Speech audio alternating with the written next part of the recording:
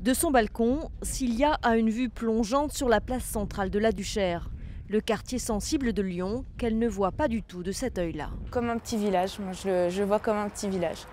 Malgré que ce soit euh, Lyon quand même, et c'est ça qui est, qui est fort. Elle a quitté le centre-ville il y a trois ans pour ce 50 mètres carrés. À mi-chemin entre le social et le privé, il lui coûte 500 euros par mois, chauffage compris. Des nouveaux habitants comme Cilia, la Duchère en gagne tous les jours depuis 10 ans. Tout a commencé avec la destruction de la barre des Milles, le symbole de la Duchère et l'exemple type des grands ensembles des années 60, devenus des ghettos. À la place, on a construit des immeubles plus petits où se mélangent logement social et logement privé, copropriété et résidences étudiantes. Des classes moyennes, voire supérieures, s'y sont installées. Résultat, des délégations d'élus de la France entière viennent visiter le quartier. Nous sommes assez regardés euh, de toute la France, assez visités. Donc on est effectivement aujourd'hui, on a l'impression effectivement d'être un modèle.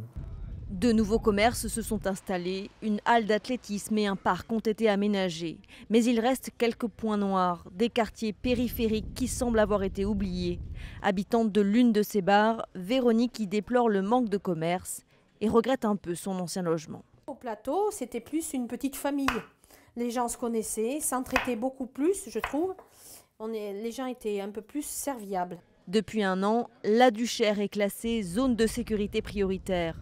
Une mesure qui fait reculer la délinquance, mais entretient son image de quartier dangereux.